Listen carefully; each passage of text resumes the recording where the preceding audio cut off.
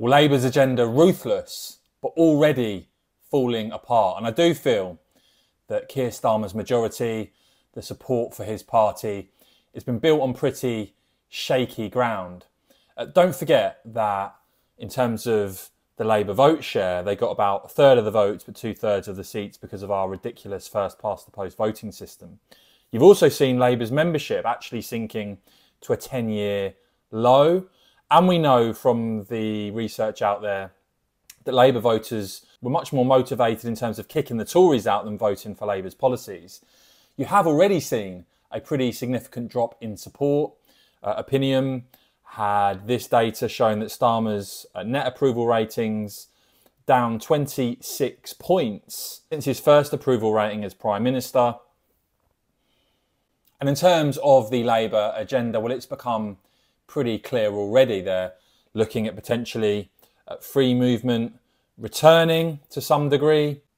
Labour used to talk about uh, the fully costed plan they had to freeze energy bills, uh, well, guess what's happened? Of course, Ofgem, uh, the price cap being risen, and people calling out how embarrassing really that is for Labour.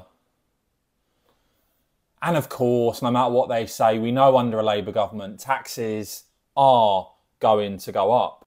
But in terms of being ruthless, what's going on with the civil service, I think, really does show you a Labour Party being more ruthless in power than the Conservatives were.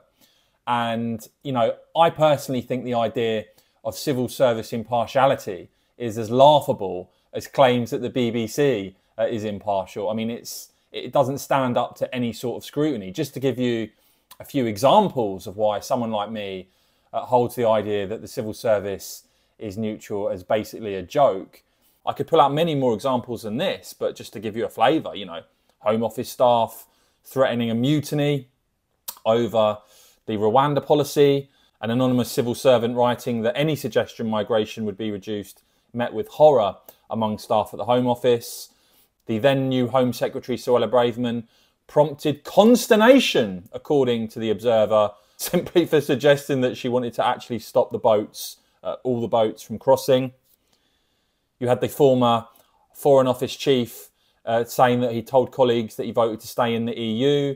Uh, Remainer civil servants were in tears over Brexit. I mean, it goes on and on and on. It's all one way traffic. Well, I actually think the idea of this whole impartial uh, civil service is a big of a joke, as I said, as the supposedly impartial BBC. I think it'd be a lot more honest and actually better government, better governing of the country for uh, those in government to be able to appoint people who actually believe in their agenda, believe in their manifesto, to actually implement it within the civil service, rather than having this bizarre system where people are actually against the policies they're supposed to be implementing. However, that is supposed to be the system we have at the moment. And yet we have a situation where it was reported that a uh, Labour donor got a number 10 pass this would be Sir Keir Starmer's biggest personal donor, according to the Times. That was then U turned on, it seems. But when it comes to the civil service specifically, there has been absolute uproar at Labour being accused of destroying civil service impartiality. A third person with close links to the Labour Party appointed to become a senior civil servant.